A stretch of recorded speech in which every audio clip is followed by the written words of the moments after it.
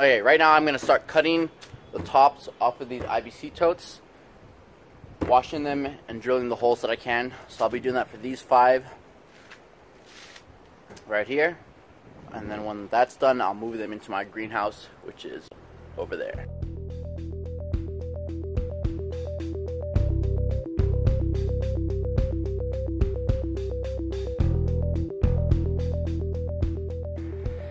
So you can see I first drew out what I'll be cutting.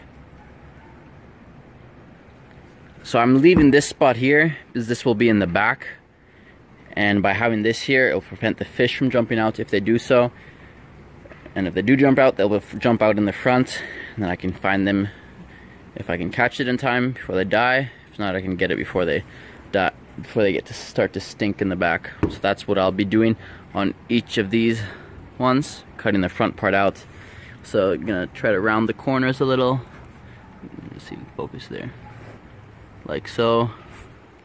But that's what I'll be doing. So I'm gonna be using a knife. It will take longer, but this will prevent pieces of plastic from flying everywhere. So I think it's a little worth it, even though it'll take quite a bit longer. But that's how I'll do it.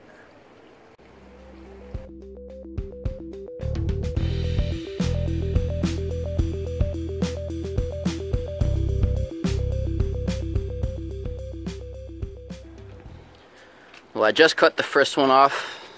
Sorry, the camera died when I was recording, didn't notice. You can see the inside. It's got a bunch of olive oil in there. So I used the knife to do it. Takes time.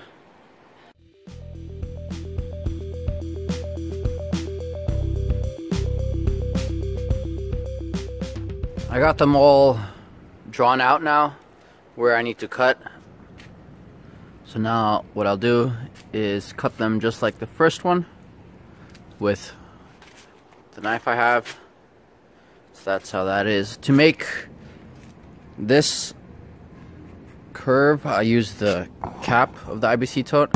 And to make the curve that I have over here, I use the drain cap that goes at the bottom from one of these.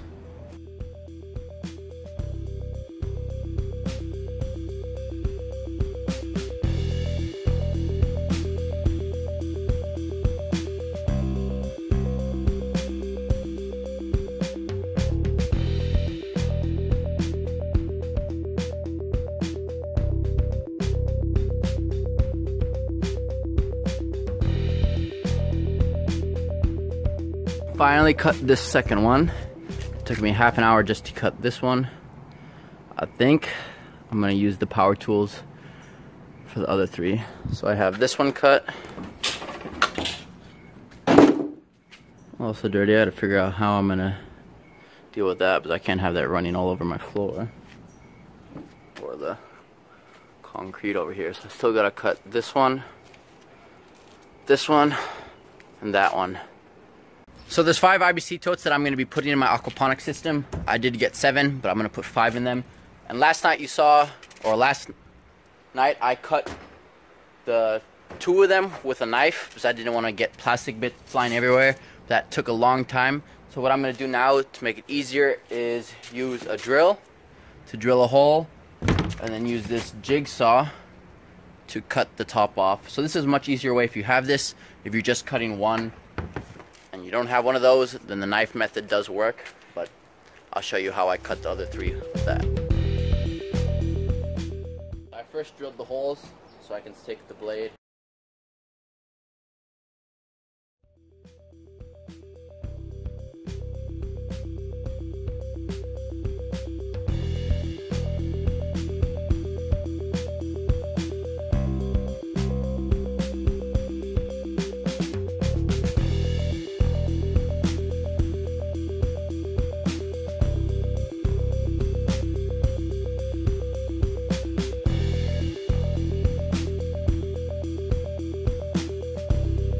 there you have it. I just finished cutting all of the five IBC totes. So I had to use the jigsaw, a knife, and handsaw and a drill. But you can see they are dirty inside. Luckily, three of them are lightweight dirty or don't have much in there you can say. But there's like this one which has got a bunch of gunk in there as well as the one over there. So I got all five cut.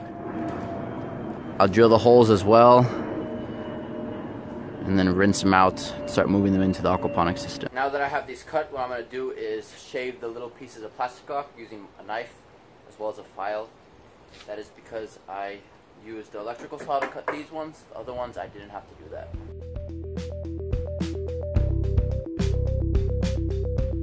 Thank you for watching. In that video, I just showed you how I cut these five different IBC totes to prepare them for my aquaponic system. So these are going to be used as fish tanks. That is why it's just this part cut off and instead of cutting it, cutting it like that and make it a grow bed you can say and I left the back part on there because in my greenhouse that will be in the back area and all I need to see is really from up here so I don't want fish jumping out in the back I think I mentioned that earlier but you can see those are done yeah, if you have any questions or comments please leave them below and thank you for watching